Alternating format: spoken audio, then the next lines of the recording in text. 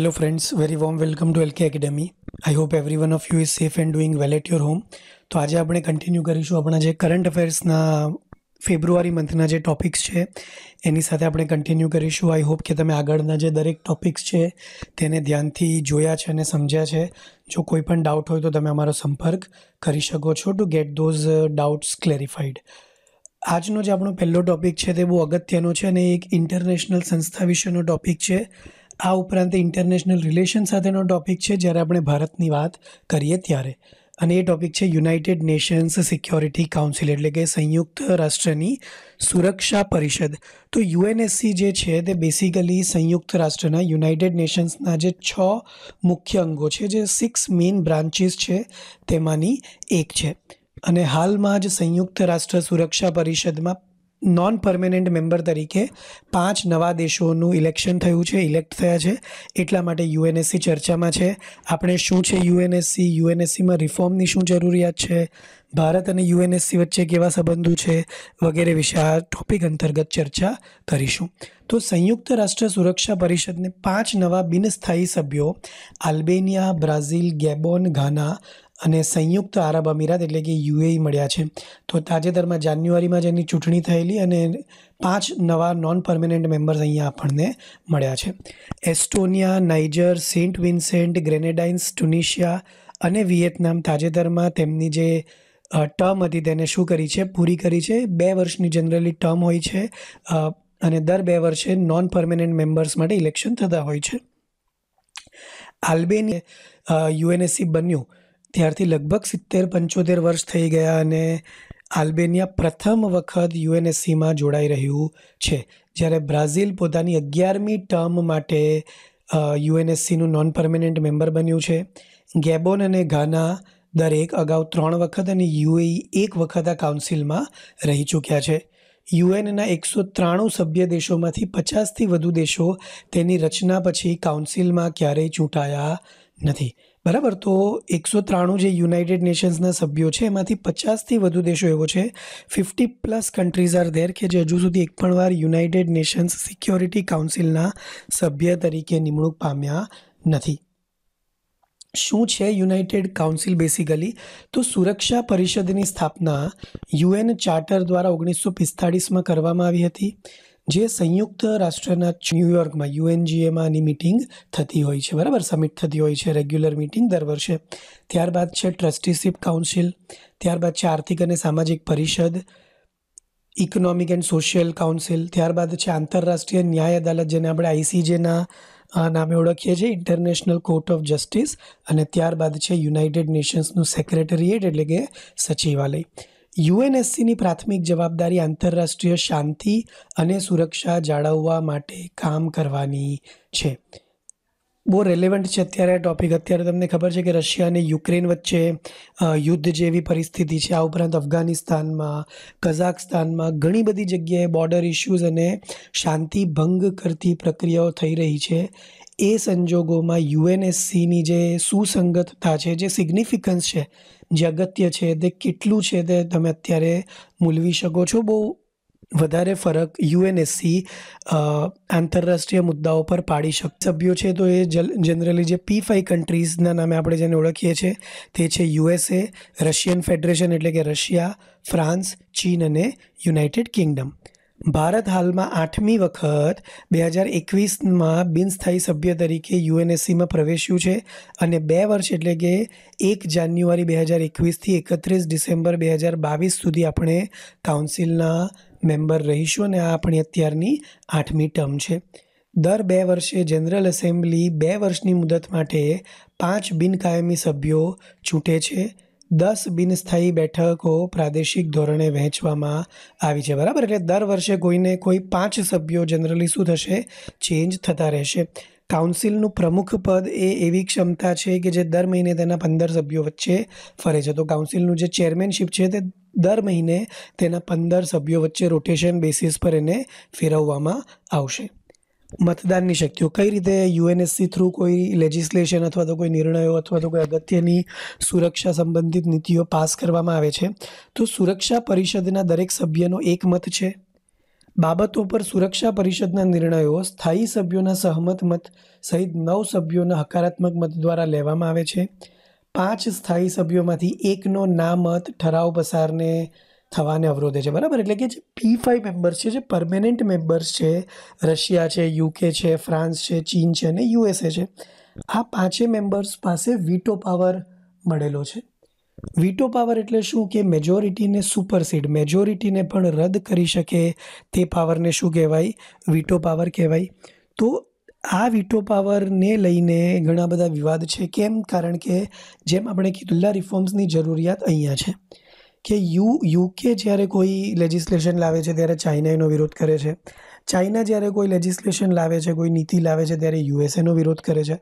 USA જ્યારે કોઈ legislation લાવે છે, ત્યારે રશિયા સાથે એને બનતું નથી, એટલે રશિયા વીટો કરી દે છે. તો આ સંજોગોમાં યુએનએસસી કોઈ ઠોસ શાંતિ અને સુરક્ષા માટેના પગલાં ઉઠાવી શકતી નથી.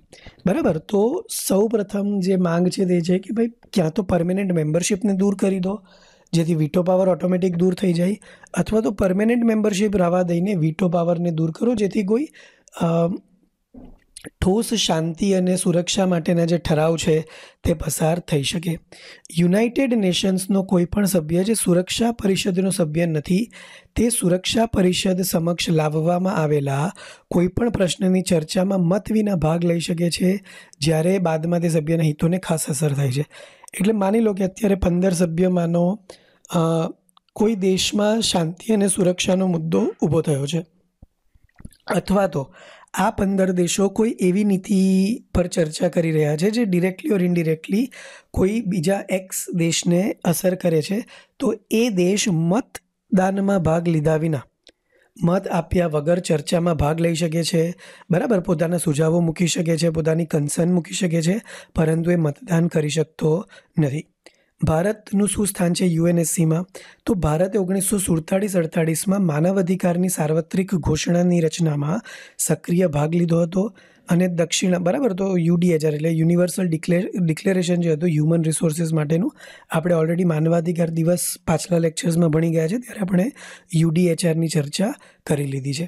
તો ભારતે ઓગણીસો સુડતાળીસ અડતાળીસમાં માનવાધિકારની સાર્વત્રિક ઘોષણાની રચનામાં સક્રિય ભાગ લીધો અને દક્ષિણ આફ્રિકામાં વંશીય ભેદભાવ સામે જુસ્સાથી પોતાનો અવાજ ઉઠાવ્યો હતો. ભારતે યુએનમાં ભૂતપૂર્વ વસાહતોને સ્વીકારવા, મધ્ય પૂર્વમાં ઘાતક સંઘર્ષોને સંબોધવા અને આફ્રિકામાં શાંતિ જાળવવા જેવા યુનાઇટેડ નેશન્સના જે અલગ અલગ પીસ કીપિંગ મિશન ચાલે એમાં આપણે ભાગ લીધો છે.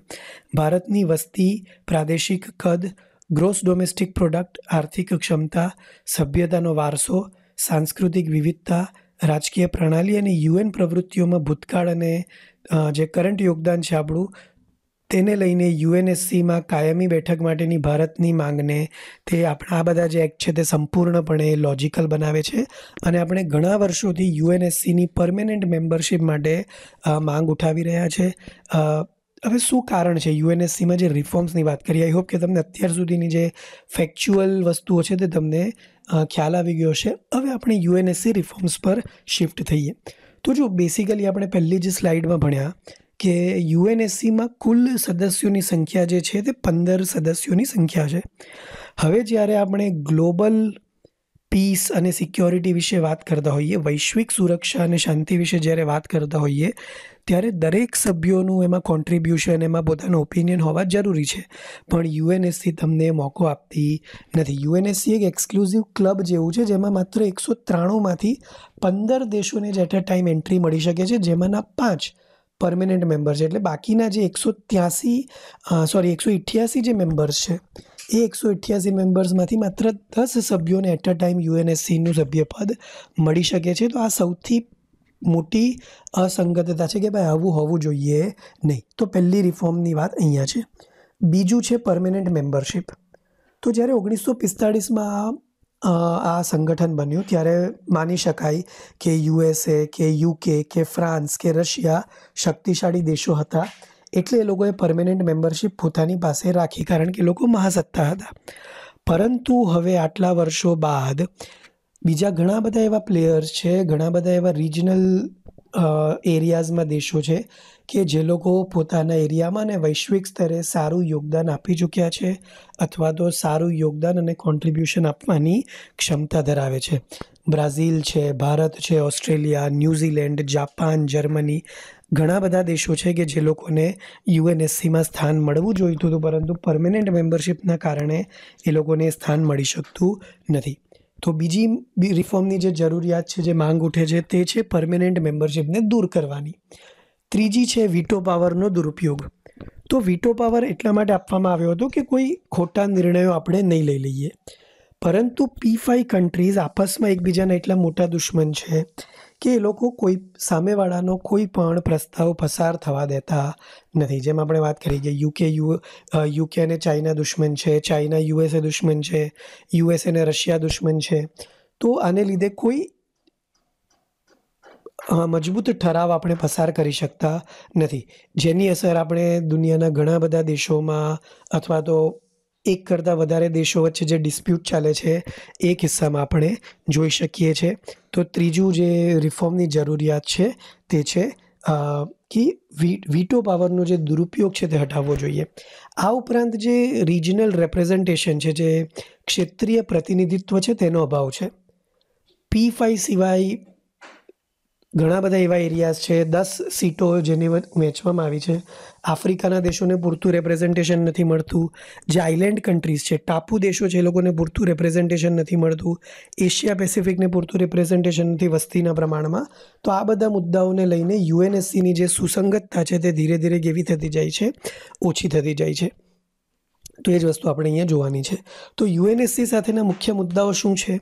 તો મિટિંગના રેકોર્ડ્સ અને ટેક્સ્ટની ગેરહાજરી છે કે ભાઈ જે ચર્ચા થાય છે તેનો કોઈ રેકોર્ડ રાખવામાં આવતો નથી.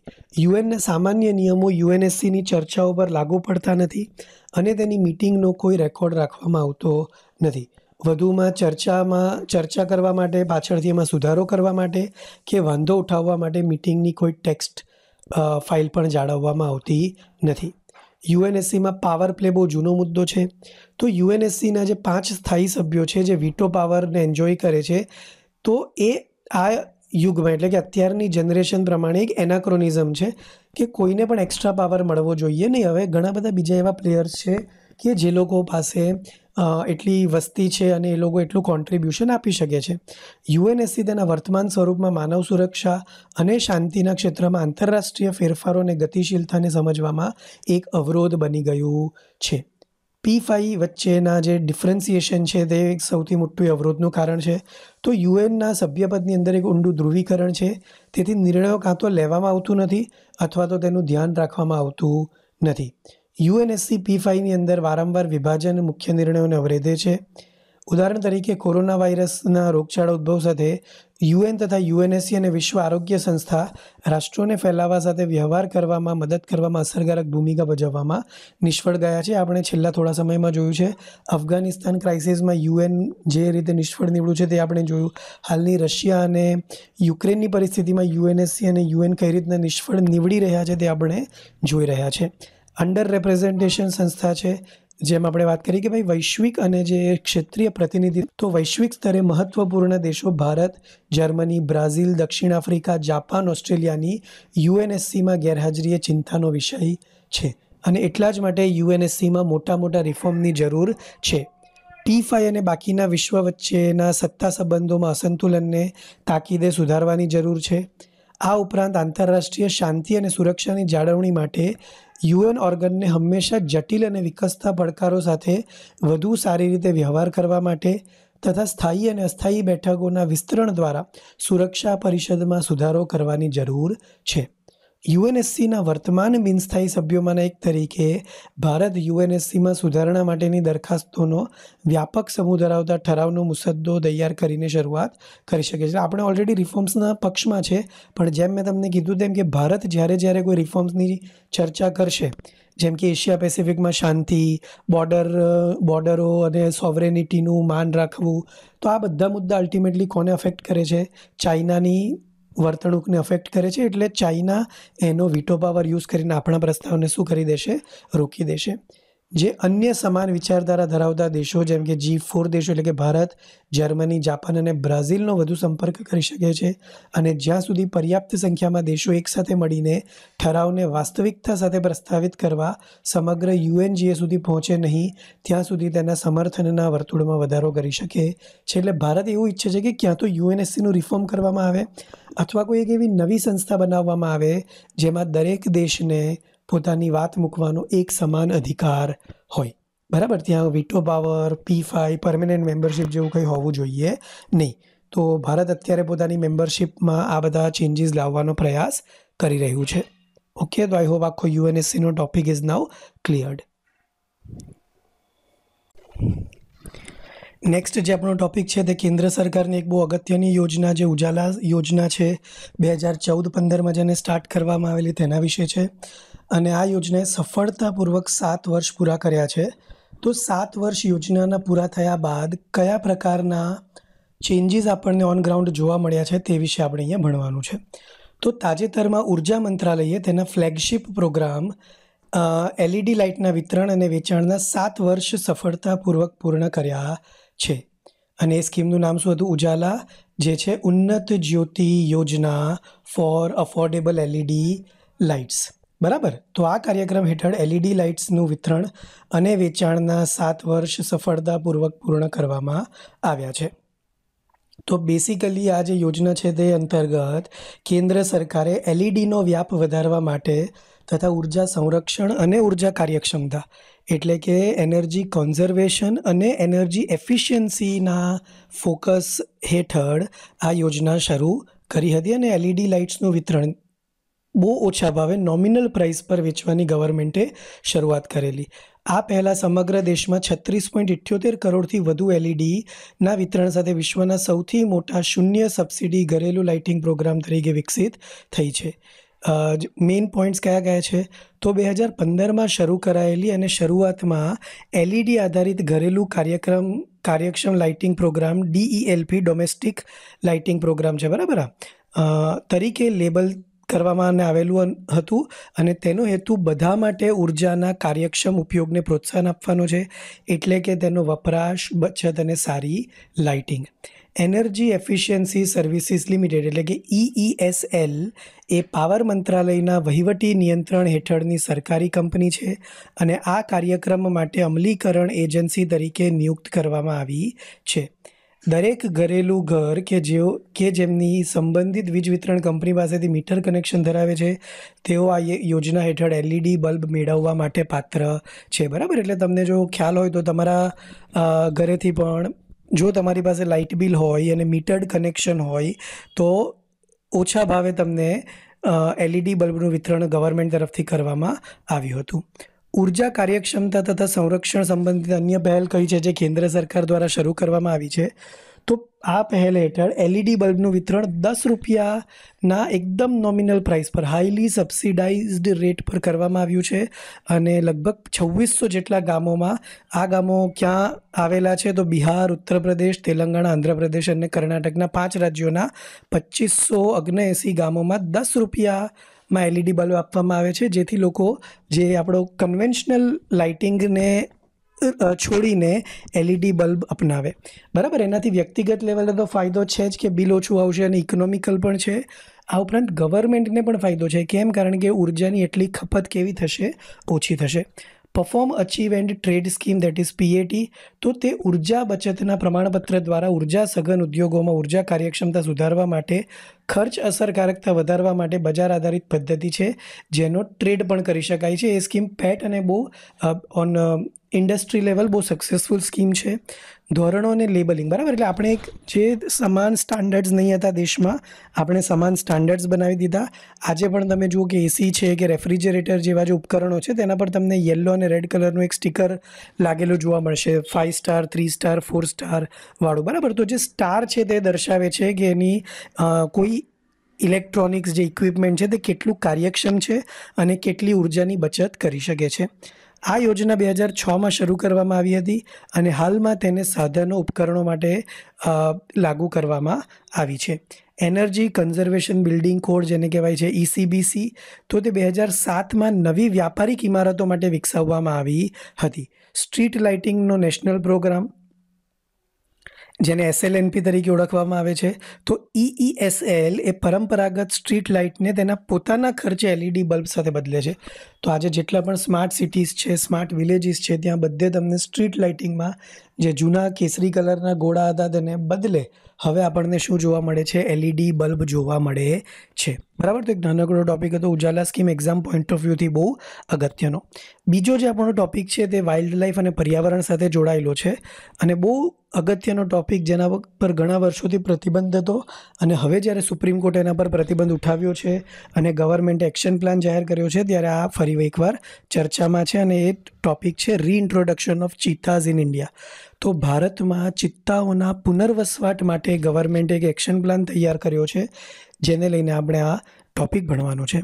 તો તાજેતરમાં કેન્દ્રીય પર્યાવરણ, વન અને આબોહવા પરિવર્તન મંત્રીએ ભારતમાં ચિત્તાના પુનઃ પરિચય માટેનો એક એક્શન પ્લાન લોન્ચ કર્યો છે. જે અંતર્ગત આગામી પાંચ વર્ષમાં આમાંથી પચાસ ચિત્તાઓને ભારતમાં લાવવામાં આવશે. બરાબર? ચિત્તા એ બિલાડીની ફેમિલીમાંથી આવે છે. બરાબર? બિગ કેટ્સની ફેમિલીમાંથી આવે છે.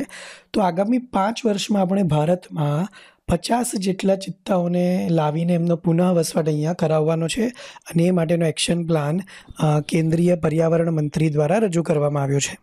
નેશનલ ટાઈગર કોન્ઝર્વેશન ઓથોરિટીની ઓગણીસમી મિટિંગ દરમિયાન આ એક્શન પ્લાન લોન્ચ કરવામાં આવ્યો હતો.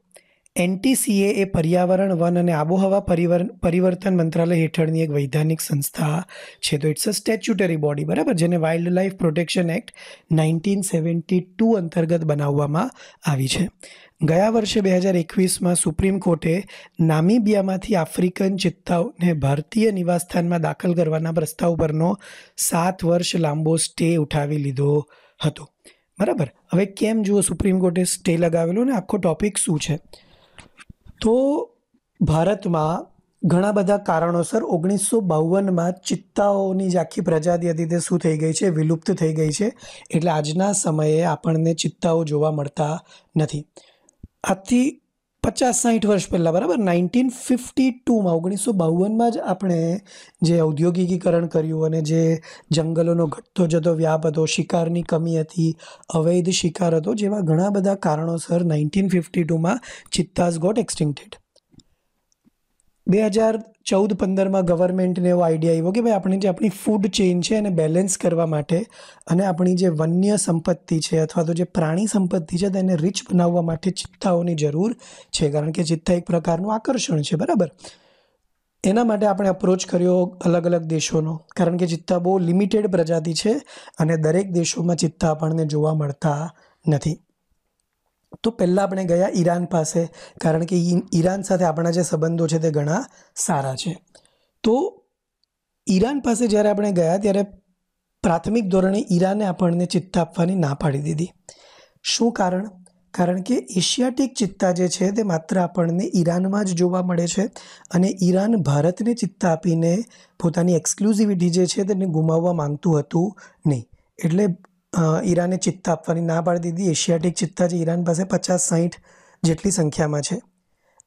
બીજો ઈરાને એવો પ્રસ્તાવ મૂક્યો કે અમે તમને ચિત્તા એક શરતે આપવા તૈયાર છે. જો ભારત એશિયાટિક લાયન ઈરાનને આપે તો. હવે એશિયાટિક લાયન જે છે, તે ભારતની એક્સક્લુઝિવિટી છે. આખી દુનિયામાં એશિયાટિક લાયન માત્ર ભારતમાં જ જોવા મળે છે. એટલે ભારત અને ઈરાન વચ્ચેની એ ડીલ બની નહીં. ત્યારબાદ ભારતે અપ્રોચ કર્યો આફ્રિકન કન્ટ્રીઝને અને આફ્રિકાના કન્ટ્રીઝમાં કન્સિડરેબલી વધારે સંખ્યામાં ચિત્તાઓ છે અને ઘણા બધા દેશો ભારતને ચિત્તા આપવા માટે રેડી થયા છે. બરાબર? તો જે પ્રારંભિક તબક્કો છે એમાં સાઉથ આફ્રિકા બોટ્સવાના જેવા દેશોમાંથી આ ચિત્તાઓ લાવવામાં આવશે. તો એનટીસીએ પર્યાવરણ વન અને આબોહવા પરિવર્તન મંત્રાલય હેઠળની એક વૈધાનિક સંસ્થા છે. ગયા વર્ષે સુપ્રીમ કોર્ટે નામીબિયામાંથી આફ્રિકન ચિત્તાઓને ભારતીય નિવાસસ્થાનમાં દાખલ કરવાના પ્રસ્તાવ પરનો સાત વર્ષ લાંબો સ્ટે ઉઠાવી લીધેલો. હવે સ્ટે કેમ મૂકેલો? બે હજાર પંદર સોળમાં ગવર્મેન્ટ ગવર્મેન્ટ પર સુપ્રીમ કોર્ટ દ્વારા. તો જ્યારે તમે કોઈ પ્રજાતિને અને આવી ક્રિટિકલ પ્રજાતિને, બરાબર, જે ક્રિટિકલી એન્ડેન્જર્ડ છે, વિલુપ્ત થવાને આરે છે જ્યારે તમે એને એના નેચરલ હેબિટેટમાંથી ઉઠાવીને એકદમ નવા હેબિટેટમાં જ્યારે મૂકી દો છો, ત્યારે એના સંરક્ષણ પરની જવાબદારી જે છે તે આપણી છે. બરાબર? આપણે એવું નહીં ઈચ્છીએ કે એ ચિત્તાઓને કોઈ પણ પ્રકારની તકલીફ પડે અને કોઈ પણ કારણસર એમનું મૃત્યુ થાય કે ફરી પાછો અવૈધ શિકાર થાય કે ફરી પાછી શિકારની કમી થાય. તો ગવર્મેન્ટે પ્લાન તો બનાવી દીધો કે ચિત્તાઓને લાવીને મૂકી દઈશું, પણ લાવ્યા બાદનો પ્લાન શું? એ ગવર્મેન્ટ પાસે તૈયાર હતો નહીં કે ભાઈ એમનું સંરક્ષણ કઈ રીતે કરવામાં આવશે? એટલે સુપ્રીમ કોર્ટે કીધું કે જ્યાં સુધી તમે અમને એક્શન પ્લાન નથી આપતા, એક સ્ટેપ બાય સ્ટેપ ગાઈડ નથી આપતા, ત્યાં સુધી અમે તમને આ માટેની મંજૂરી આપી શકીએ નહીં. બરાબર. હવે જ્યારે સુપ્રીમ કોર્ટ પાસે એક્શન પ્લાન છે, એટલે સોરી ગવર્મેન્ટ પાસે જ્યારે એક્શન પ્લાન છે, ત્યારે એ સ્ટેને શું કરવામાં આવ્યો છે? હટાવી લેવામાં આવ્યો છે અને સુપ્રીમ કોર્ટની શરત અનુસાર દર મહિને એક એક્સપર્ટ કમિટી ચિત્તાના સંરક્ષણ પરનો રિપોર્ટ સુપ્રીમ કોર્ટમાં જમા કરાવશે. બરાબર? ચાલો, શું છે ચિત્તા? તો એક પ્રજાતિના પુનઃ પ્રવેશ અથવા તો પુનઃ વસવાટનો અર્થ એ થાય છે કે તેને એવા વિસ્તારમાં છોડી દેવો જ્યાં તે જીવિત રહેવા માટે સક્ષમ હોય. સિમિલર હેબિટેટમાં એને છોડી દેવાનો. મોટા માંસાહારી પ્રાણીઓના પુનઃ પ્રસારને જોખમમાં મુકાયેલી પ્રજાતિઓને બચાવવા અને ઇકોસિસ્ટમના કાર્યોને પુનઃસ્થાપિત કરવાની વ્યૂહરચના તરીકે વધુને વધુ આજકાલના સમયમાં કરવામાં આવે છે કે ભાઈ, એક જગ્યાએ જ્યારે લુપ્ત થતી પ્રજાતિ છે, ત્યારે એને બીજી જગ્યાએ રીઇન્ટ્રોડ્યુસ કરી દો, જેથી કરીને પ્રજાતિ સંપૂર્ણપણે વિલુપ્ત નહીં થઈ જાય.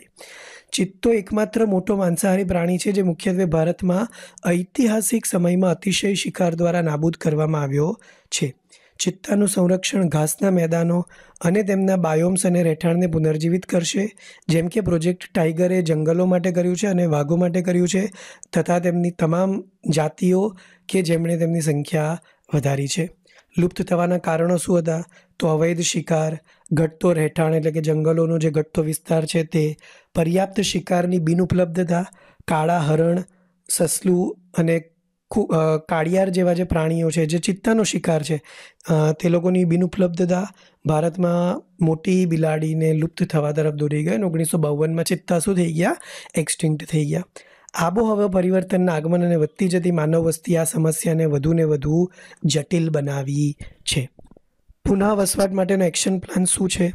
તો wild life institute of India અને વાઇલ્ડ લાઈફ ટ્રસ્ટ ઓફ ઇન્ડિયાની મદદથી પર્યાવરણ મંત્રાલય દક્ષિણ આફ્રિકા, નામિબિયા અને બોટ્સવાનામાંથી લગભગ આઠથી બાર ચિત્તાઓનું સ્થાનાંતરણ કરશે ઇનિશિયલ ફેઝમાં, ફર્સ્ટ ફેઝમાં.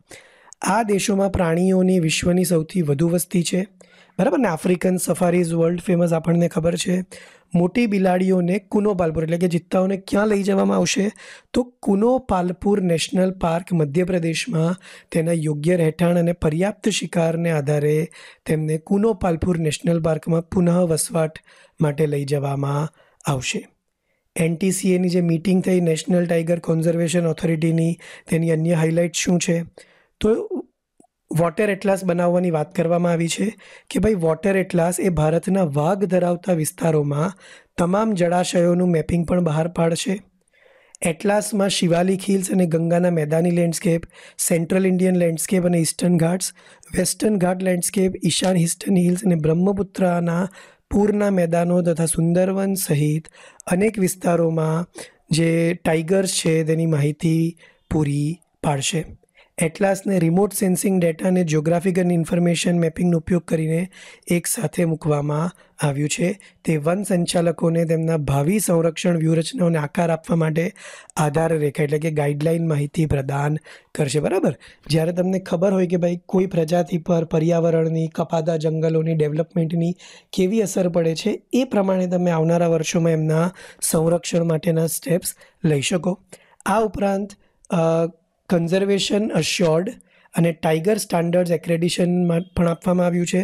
તો ઓલરેડી ચૌદ જેટલા જે ટાઈગર રિઝર્વ છે, તે લોકોને સીએટીએસની માન્યતા મળી છે. એક પ્રકારની રેટિંગ સિસ્ટમ છે રેટિંગ એજન્સી છે અને એનટીસીએ અન્ય ટાઈગર રિઝર્વને પણ સીએટીએસ માન્યતા માટે મૂલ્યાંકન કરાવવા પર કામ કરી રહ્યું છે. બરાબર? હાલમાં ભારતમાં ટોટલ તેતાળીસ જેટલા ટાઈગર રિઝર્વ છે અને આપણી પાસે લગભગ ચાર હજાર કરતાં વધુ વાઘની સંખ્યા છે, જે દુનિયાના કોઈપણ દેશ કરતાં વધારે છે. બરાબર? જ્યારે જ્યારે તમે કોઈ પણ પ્રજાતિ વિશે ભણો, ત્યારે ત્રણ એજન્સીમાં એનું સંરક્ષણ સ્ટેટસ યાદ રાખવાનું. પહેલું છે આઈયુસીએન બીજું છે સાઇટ્સ અને ત્રીજું છે wildlife protection act nineteen seventy two. જો કોઈ ભારતને રિલેટેડ પ્રજાતિ હોય તો. તો જે આફ્રિકન ચિત્તા છે એ લોકોનું આઈયુસીએન સ્ટેટસ શું છે? તો એ છે વલ્નરેબલ કેટેગરીમાં મૂકવામાં આવ્યા છે ને એશિયાટિક ચિત્તાને ક્રિટિકલી એન્ડેન્જર્ડ એટલે કે ભય મુક ભય ભયજનક વિલુપ્તિની નજીક છે. આફ્રિકન ચિત્તામાં સાઇટ્સનું સ્ટેટસ શું છે? તો એ છે એપેન્ડિક્સ વનમાં મૂકવામાં આવ્યા છે અને એશિયાટિક ચિત્તાને પણ એપેન્ડિક્સ વનમાં મૂકવામાં આવ્યા છે. જેમનું આફ્રિકન ચિત્તા વાઇલ્ડ લાઈફ પ્રોટેક્શન એક્ટમાં સંમિલિત નથી. જ્યારે એશિયાટિક ચિત્તા જે છે તે સ્કેડ્યુલ વનમાં છે, એટલે કે એમના અવૈધ શિકાર પર પ્રતિબંધ છે. જો એમનો અવૈધ શિકાર કરવામાં આવે, તો તે વ્યક્તિને અથવા વ્યક્તિઓને જેલની સજા અને દંડ અથવા તો બંને થઈ શકે છે. બરાબર? ગેંગેટિક ડોલ્ફિન છે, ઓલિવ રિડલે ટર્ટલ છે એશિયાટિક લાયન છે. આ બધા સ્કેડ્યુલ વનમાં છે. વસ્તી કેટલી છે? તો આફ્રિકન ચિત્તાની વસ્તી છે સાત હજાર, આઠ હજાર જેટલી. આફ્રિકાના દેશોમાં જ્યારે એશિયાટિક ચિત્તા માત્ર ને માત્ર ઈરાનમાં જોવા મળે છે અને એમની વસ્તી છે ચાળીસથી પચાસ. બરાબર? ફિઝિકલ કેરેક્ટરિસ્ટિક એમનું શું છે? તો આફ્રિકન ચિત્તા એશિયાટિક ચિત્તા કરતાં મોટા હોય છે. જ્યારે એશિયાટિક ચિત્તા નાના હોય છે અને એમના ગળું જે હોય છે તે કેવું હોય છે? લાંબુ હોય છે. બરાબર? તો તમે દેખીતી રીતે પણ કહી શકો છો કે કોઈ ચિત્તો આફ્રિકાથી આવેલો છે કે એશિયાથી આવેલો છે? તો આ તો આપણા રીઇન્ટ્રોડક્શન ઓફ ચિત્તા સંબંધિત ટોપિક નેક્સ્ટ જે આપણો ટોપિક છે તે છે નેપાળ અને ઇન્ડિયા વચ્ચેના સંબંધો, એટલે કે ઇન્ટરનેશનલ રિલેશનની કેટેગરીમાં તમે આ ટોપિકને મૂકી શકો છો. તો ભારત અને નેપાળ વચ્ચે તાજેતરમાં એક નવો બ્રિજ બનાવવા માટેની મંજૂરી આપવામાં આવી છે. તો તાજેતરમાં કેન્દ્રીય કેબિનેટ દ્વારા મહાકાલી નદી પર ભારત અને નેપાળને જોડતો નવો પુલ બનાવવાની અને ઉત્તરાખંડના ધારચુલા વિસ્તારને નેપાળના ધારચુલા વિસ્તાર સાથે જોડવાની મંજૂરી આપવામાં આવી છે. બરાબર? તો નેપાળ જે છે તે લેન્ડલોક્ડ કન્ટ્રી છે, જે ઉત્તરે ચાઇના સાથે સરહદ ધરાવે છે, તિબેટ સાથે બેસિકલી અને બાકીની ત્રણ બાજુ એટલે કે પૂર્વની બાજુએ, પશ્ચિમની બાજુએ અને દક્ષિણની બાજુએ એ ભારતના રાજ્યો સાથે સરહદ ધરાવે છે. ભારતના રાજ્યો કયા ગયા છે? ઉત્તરાખંડ, બિહાર અને ઉત્તર પ્રદેશ બરાબર? તો આ પુલ શું કામ કરશે? ભારત અને નેપાળના સંબંધોને કઈ રીતે અસર કરશે? અને છેલ્લા થોડા સમયમાં ભારત નેપાળના સંબંધોમાં કઈ રીતે ઉતાર ચઢાવ આવ્યો છે તે આપણે જોવાનું છે. આ પુલ આવનારા ત્રણ વર્ષમાં પૂરો થશે. અને તેનાથી બંને દેશો વચ્ચેના જે સંબંધો છે તે વધુ મજબૂત થશે. ભારત અને નેપાળની મિત્રતા અને સહયોગના અનોખા સંબંધ ધરાવે છે. બરાબર? ઓગણીસો પચાસમાં આપણે નેપાળ સાથે ફ્રેન્ડશિપ ટ્રીટી કરેલી અને આપણા જે સંબંધો છે તે લગભગ લગભગ સ્ટ્રોંગ રહ્યા છે. છેલ્લા થોડા વર્ષોની અમુક ગતિવિધિઓને બાદ કરીએ તો.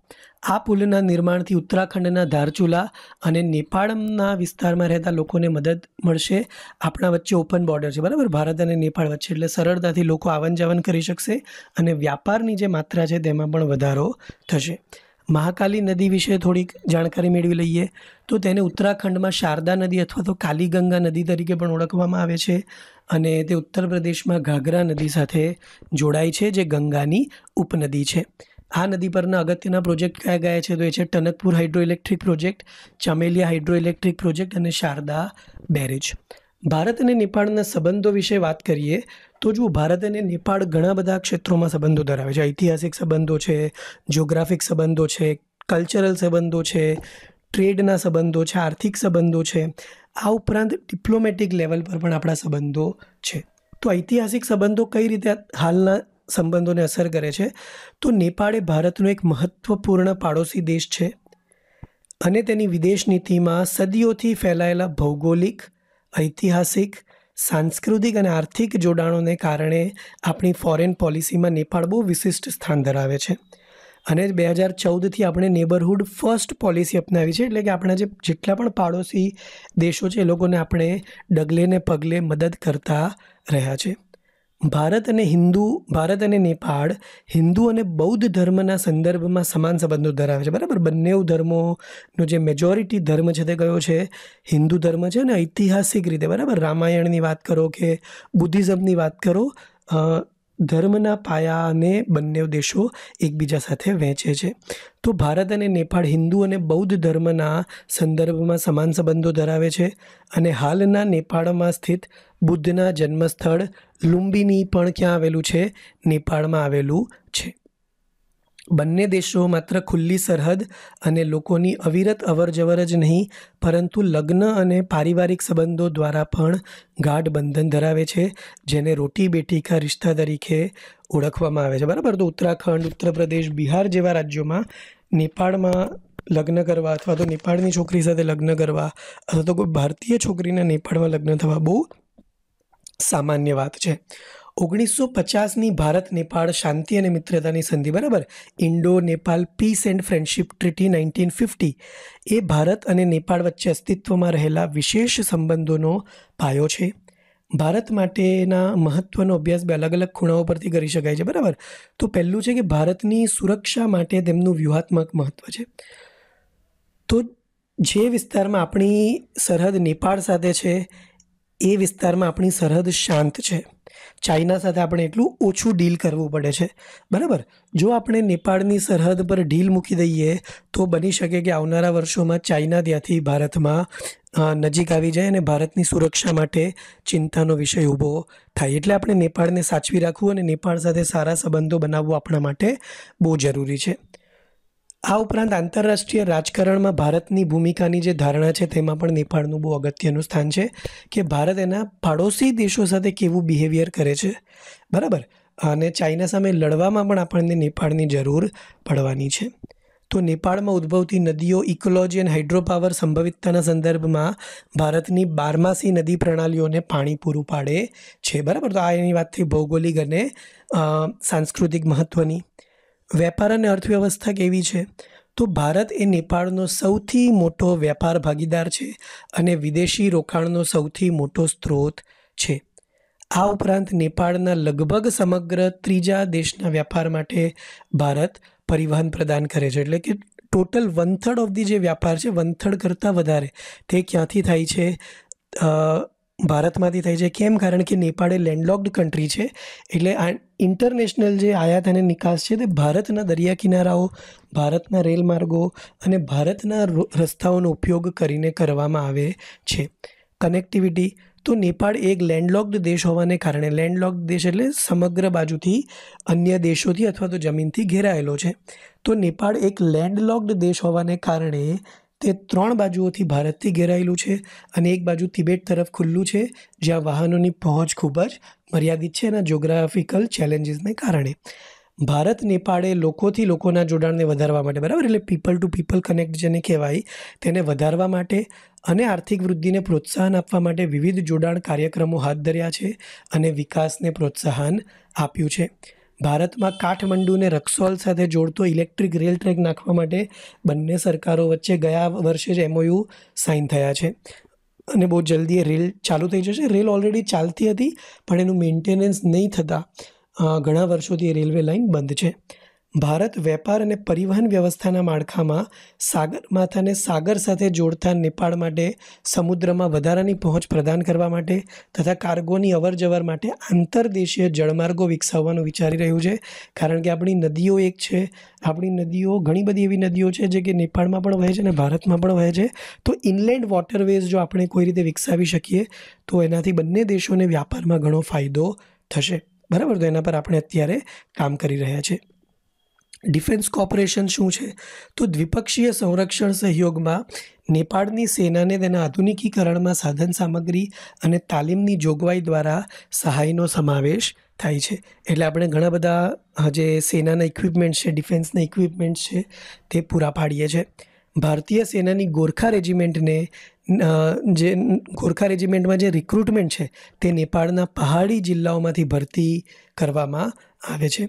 બે હજાર અગિયારથી ભારત દર વર્ષે નેપાળ સાથે સંયુક્ત સૈન્ય અભ્યાસ હાથ ધરે છે, જેનું નામ છે સૂર્યકિરણ જોઈન્ટ મિલિટરી એક્સરસાઇઝ જે બે હજાર અગિયારથી આપણે દર વર્ષે કરીએ છીએ. સાંસ્કૃતિક ટાઈસ કઈ રીતના છે આપણા? તો નેપાળની વિવિધ સ્થાનિક સંસ્થાઓ સાથે કલા અને સંસ્કૃતિ, વિદ્વાનો અને મીડિયાના ક્ષેત્રમાં લોકોથી લોકોના સંપર્કને પ્રોત્સાહન આપવા માટે પહેલ કરવામાં આવી છે. ભારતે કાઠમંડુ, વારાણસી લુંબિની, બોધગયા અને જનકપુર અયોધ્યાને જોડવા માટે ત્રણ સિસ્ટર સિટી કરારો પર હસ્તાક્ષર કર્યા છે. સિસ્ટર સિટી અથવા ટ્વિન ટાઉનનો સંબંધ બે ભૌગોલિક અને રાજકીય રીતે અલગ અલગ વિસ્તારો વચ્ચે કાનૂની અથવા તો સામાજિક કરારનું એક સ્વરૂપ છે. જાપાન સાથે પણ આપણે ઘણા બધા સિસ્ટર સિટીના કરાર કર્યા છે. ચાઇના સાથે પણ આપણે સિસ્ટર સિટીના કરાર કર્યા છે, બરાબર? કે જેથી એક શહેરની તર્જ પર બીજા શહેરના વિકાસ કરવામાં આવી શકે.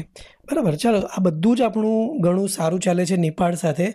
છતાં પણ છેલ્લા થોડા વર્ષોમાં ઘણા ચેલેન્જીસ ઊભા થયા છે. બરાબર, એ પહેલાં આપણે માનવતાવાદી સહાયની વાત કરી લઈએ.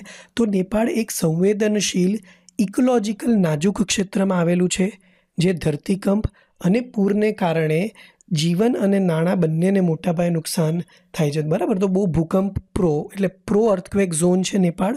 અને ઘણીવાર અવારનવાર ભૂકંપ આવ્યા કરે છે, ત્યારે સૌ પ્રથમવાર એની મદદે કોણ દોડી જાય છે? હંમેશા ભારત. તો જેના કારણે તે ભારતની માનવતાવાદી સહાયનો સૌથી મોટો પ્રાપ્તકર્તા છે. આ ઉપરાંત બહુપક્ષીય ભાગીદારી છે આપણી.